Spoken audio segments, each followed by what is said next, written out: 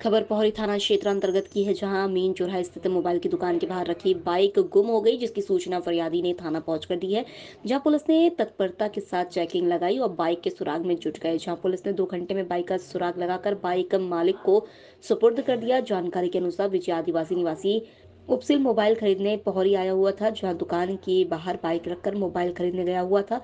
आकर देखा तो पता चला कि बाइक वहाँ मौजूद नहीं थी। फरियादी ने तत्काल पुलिस को सूचना दी जहाँ पुलिस ने तत्परता के साथ चेकिंग पॉइंट लगाई और बाइक को बरामद कर शख्स को सौंपी। इस संपूर्ण मामले में थाना प्रभारी बलविंदर ढिल्लन सहायक उप निरीक्षक पुष्पेंद्र चौहान उप निरीक्षक पवन शर्मा प्रधान आरक्षक इम्तियाज़ खान आरक्षक राहुल सिंह अजय निखरा देवेंद्र अरविंद मुनीश की महत्वपूर्ण भूमिका रही।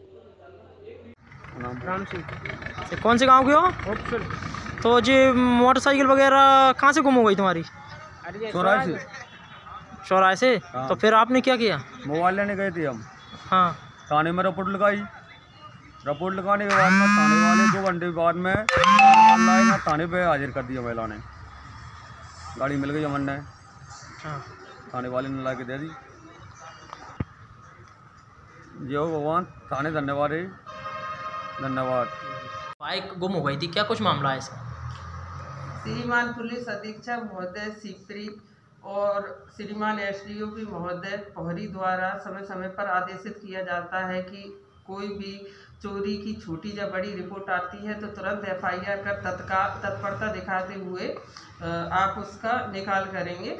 इसी निर्देशन के पालन में आज राम सिंह आद- आदिवासी रिपोर्ट लेकर आया था कि उसकी मोटरसाइकिल लल्ला होटल के सामने से कहीं गुम हो गई है।